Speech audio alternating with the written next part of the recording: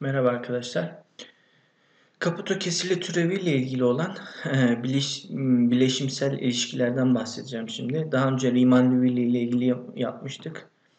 Aslında bu bileşimsel ilişki dediğimiz şey e, Kaputo türevi ile Riemann-Liouville integrali arasındaki ilişkilerden bahsedeceğiz. İlk önce DC dediğimiz şey biliyorsunuz Kaputo türeviydi alfa mertebeden.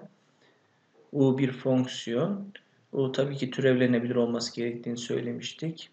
Bunun soldan Riemann-Liouville integrali, şey, integrali ile alfa mertebeden uygulanmasıyla uygulanmasıyla niye eşit olabileceğini bulmaya çalışacağız. Diğer yandan bu birincisi, ikincisi ise e, tam tersi olarak alfa mertebeden bir fonksiyonun Riemann-Liouville integralinin alfa mertebeden Caputo türevinin neye eşit olabileceğini bulacağız.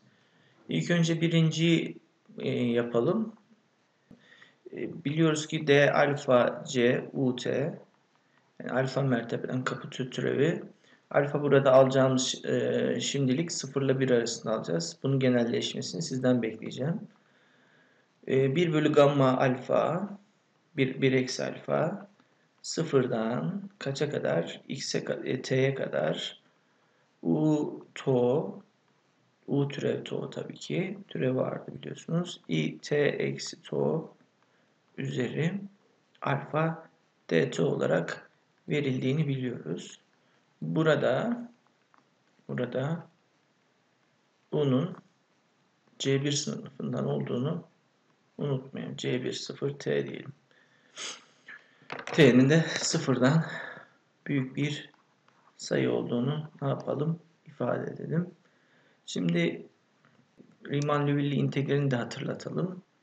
Alfalarımız yine 0 ile 1 arasında 1 bölü gamma alfa sıfırdan t'ye kadar bu e, to t eksi to 1 eksi alfa d to şekli şey olmak üzere i r ile alfa u t şey d alfa kaputo türev ut o da eşittir.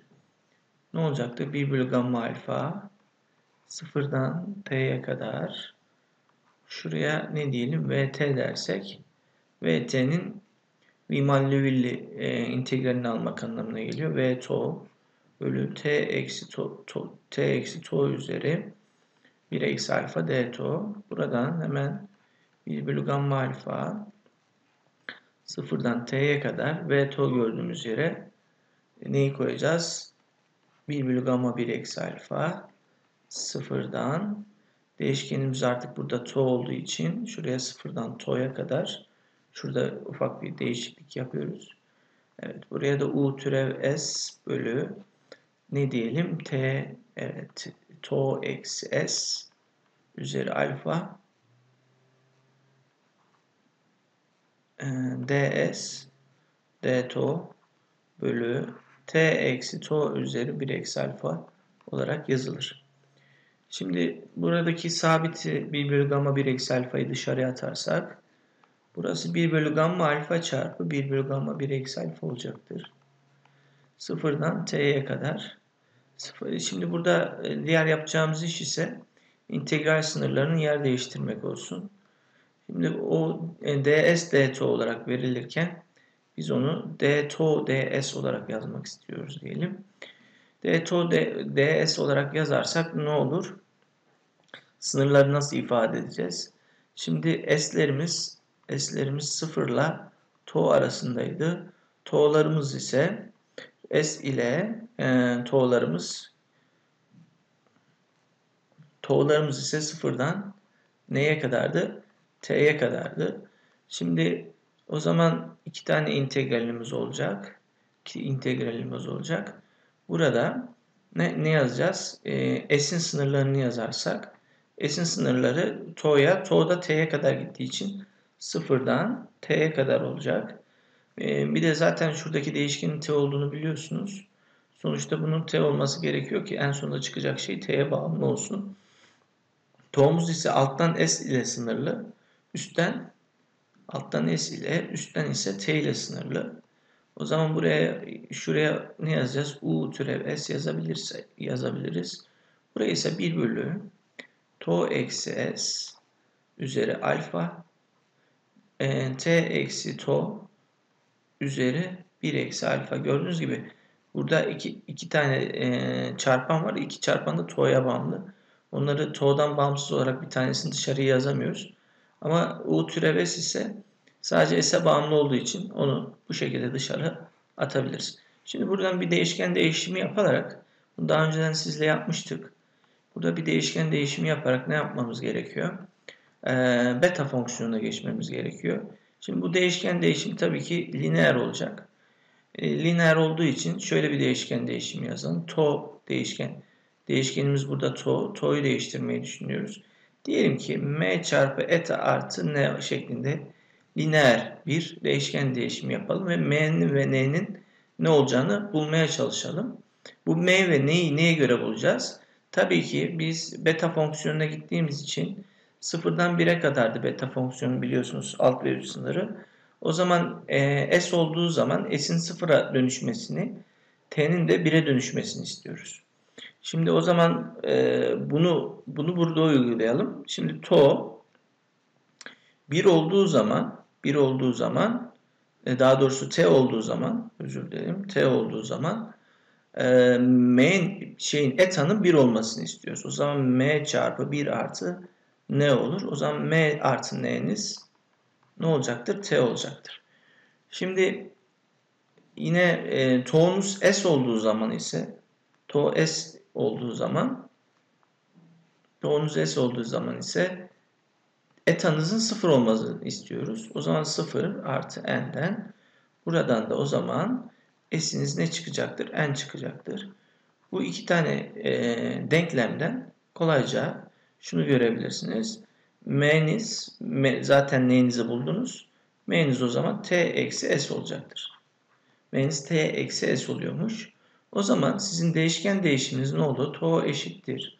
t eksi s çarpı eta artı s olacaktır. Şimdi burada e, türev alırsak d to'nun yerine ne yazacağımızı düşünüyoruz çünkü.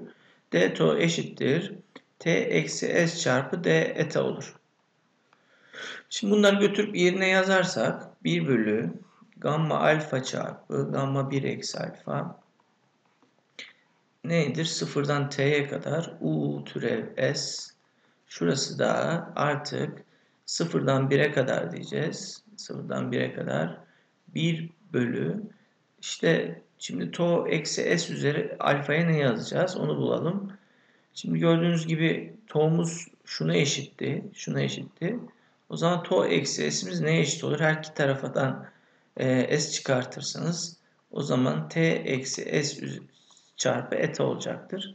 Onu getirip burada yazalım. t eksi s üzeri e, alfa çarpı ne olacaktır? Eta üzeri alfa olacaktır. Dışarı çıkarttığımı varsaydım.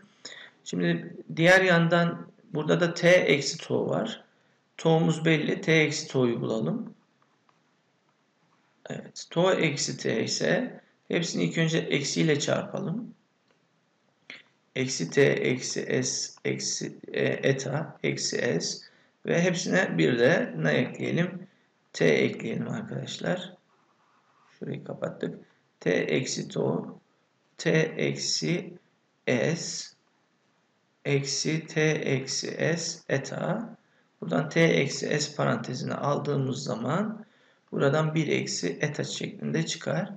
O zaman t eksi to gördüğüm yere t eksi s üzeri 1 eksi alfa 1 e, eksi eta üzeri e, ne olacaktır? 1 eksi alfa olacaktır.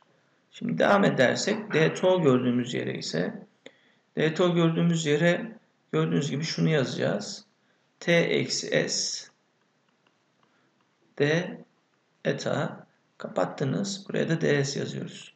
O da eşittir. 1 bölü gamma alfa gamma 1 eksi alfa sıfırdan t'ye kadar u türev s.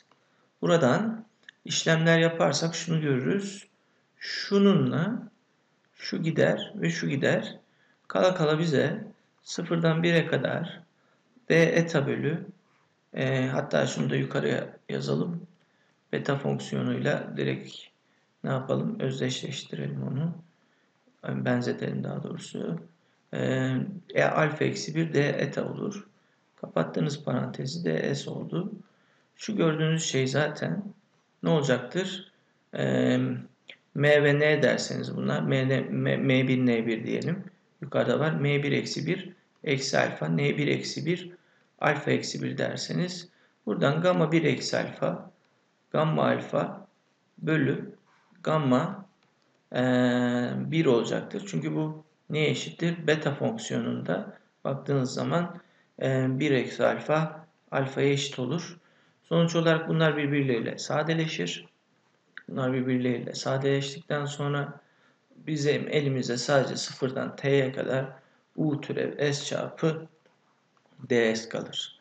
Buradan e, integral alırsak tabii ki sonuç olarak ut eksi u0 kalır.